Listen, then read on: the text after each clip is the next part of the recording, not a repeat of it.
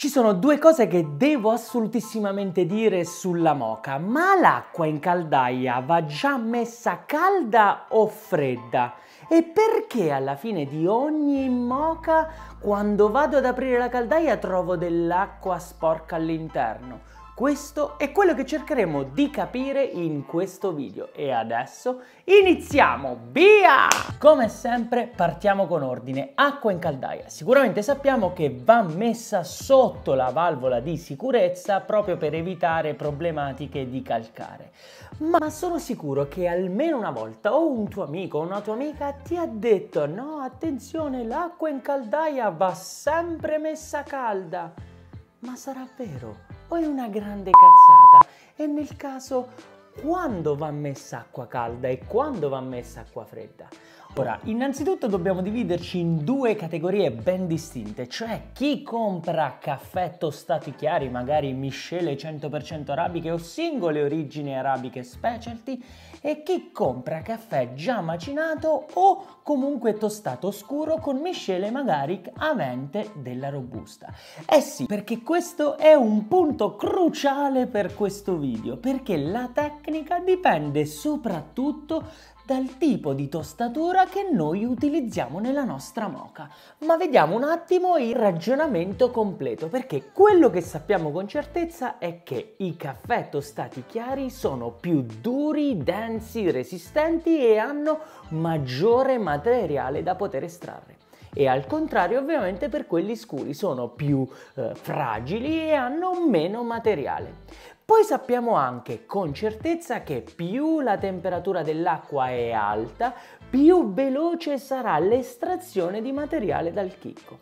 Bene, capito questo concetto, adesso settiamo le basi perfette per un esperimento completo. Quello che faremo adesso sarà verificare se realmente la temperatura d'inizio dell'acqua è così influente a livello sensoriale quando noi facciamo una nostra moca e lo faremo sia per un caffè tostato chiaro, in questo caso una singola origine del Ruanda, sia per un comunissimo caffè da supermercato tostato scuro. Quindi terremo tutti i dati costanti, qualità dell'acqua, quantitativo dell'acqua, del caffè, stessa macinatura, insomma stesso tutto, ma cambieremo solo la temperatura d'inizio e la faremo una a temperatura ambiente, quindi con acqua che parte da temperatura ambiente un'altra invece con una temperatura dell'acqua di partenza a 70 gradi e un'altra, l'ultima, con una temperatura dell'acqua a 100 gradi e capiremo quale è la migliore combinazione e se realmente c'è una migliore combinazione. Ma adesso mentre preparo tutte queste moche, già so che mi scoppierà il cuore oggi per l'ennesima volta, lascio la parola al nostro amico detective che ci spiega qualcosa di veramente interessante da conoscere sul caffè e sulla moca. Ma perché rimane sempre dell'acqua all'interno della caldaia anche alla fine dell'estrazione? Il motivo è legato a questo spazietto qui sotto. Quando noi inseriamo acqua all'interno della caldaia e iniziamo a riscaldare quest'acqua, il vapore che si genera espandendosi spingerà l'acqua a passare e a risalire attraverso il filtro finché però il livello dell'acqua non si abbassa sotto il livello del filtro. A quel punto l'acqua non riuscirà più a risalire all'interno del filtro, ma ciò che risalirà il filtro sarà solo vapore non condensato e inizierà la famosissima fase vulcanica, quella fase che noi dobbiamo sempre evitare. Ma allora perché quest'acqua è anche sporca, come se ci fosse del caffè all'interno? Il motivo è perché quella non è solo acqua, ma è legata anche a una parte di caffè. Eh sì, perché dobbiamo sapere che per ogni singolo grammo di caffè c'è un assorbimento di acqua di circa 2-3 grammi e nel momento in cui noi finiamo la nostra estrazione una parte di acqua rimane intrappolata all'interno del filtro insieme al caffè. Ma poi finisce l'espansione di vapore, finisce la risalita di acqua, finisce quella pressione che si genera all'interno della caldaia e quindi una parte di acqua scenderà giù di nuovo nella caldaia grazie alla forza di gravità e quindi è normalissimo che ci sia un avanzo di acqua e quell'acqua sia anche un pochettino sporca. Ma adesso torniamo al video.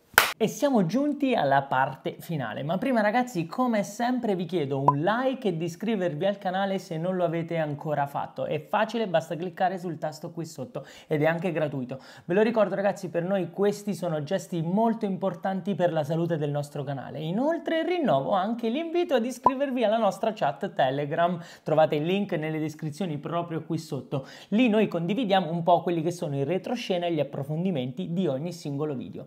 E adesso adesso passiamo alle conclusioni. Ragazzi, che dire, un risultato che per certi versi ha seguito una sua logica, per altri un po' meno. Prima di andare avanti però e di condividere tutto, mi raccomando ragazzi, se utilizzate l'acqua bollente, aiutatevi con un panno perché la caldaia diventa incandescente. Bene, detto questo, passo subito al risultato con i tostati chiari. Il risultato migliore l'ho avuto con una temperatura di partenza a circa 100 gradi, che poi non erano 100 gradi all'interno della caldaietta perché c'è un assorbimento di calore da parte del materiale dell'alluminio che era già di partenza freddo. La tazza l'ho trovata molto più rotonda, aveva più caratteristiche del caffè specifico, era più floreale, note amare molto basse ma comunque di buona qualità mentre per le altre due le ho trovate abbastanza simili l'una con l'altra. Una di queste, forse quella con la temperatura più fredda, aveva delle note un po' più marcate di amaro eh, e di eh, diciamo bruciato. Non so il perché, visto che tendenzialmente la temperatura che ho usato era anche più calda. Quindi questo un po' mi sta ancora dando alla testa per, questi, per alcuni versi. Per quanto riguarda la tostata scura, invece, ha confermato un ragionamento che avevo letto in un blog di un personaggio illustre nel mondo del caffè e soprattutto delle moche, il più grande collezionista di moche in Italia e forse nel mondo, si chiama Lucio del Piccolo. Nel suo blog aveva proprio descritto che con i tostati scuri i risultati migliori si avevano con l'acqua fredda. A livello di logica un pochettino ci sta e non ci sta, però il risultato ha confermato quello che lui ha detto.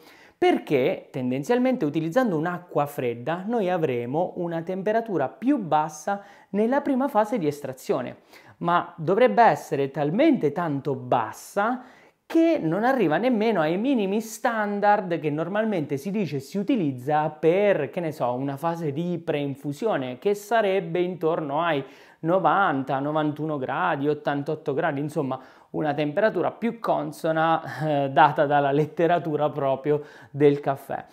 Quindi devo dire che questo risultato un po' mi ha sì confermato la sua regola, no, non mi ha totalmente chiarito il perché ma lascio la parola a voi e ai vostri commenti, alle vostre domande. Insomma, ne avete mai provato? Avevate mai sentito parlare di questa cosa? Qual è la temperatura perfetta secondo la vostra ricetta? Scrivete tutto nei commenti qui sotto. Io al momento mi fermo qui, grazie mille per aver seguito questo video e ci vediamo nel prossimo. Ciao!